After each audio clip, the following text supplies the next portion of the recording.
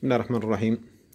عندنا طابعة HP حديثة نوعا ما لا زال تباع في السوق اللي هي Deskjet 2130 من الطابعات اللي فيها حبرين تيجي هذه. بتكون أفضل من الطابعات اللي فيها أربع احبار زي ما قلنا. فيها مشكلة هذه الطابعة. أجتني.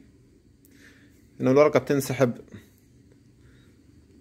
مسافة بسيطة وبعدين تتوقف داخل الطابعة. لو طبعنا عليها ورقة خلنا نشوف مع بعضنا. لو طبعنا عليها هذا ال test page. نقول له print نلاحظ الورقة.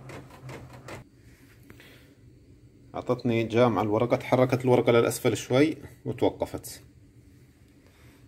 تبين السبب بسيط.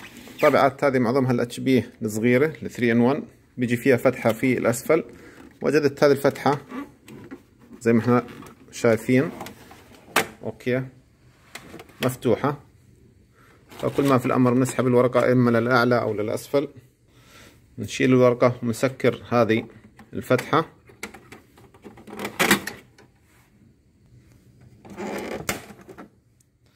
تأكد أن غلقناها. ونطبع على الطابعة من جديد. أو نعمل ريزيوم نلاحظ الطابعة راح تطبع بشكل سليم. للأسف صحيح حاجة بسيطة ولكن في ناس بنقل الطابعة مسافي بودوها على المصلح.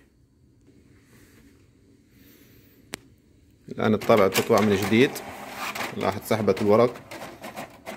بتطبع بشكل سليم.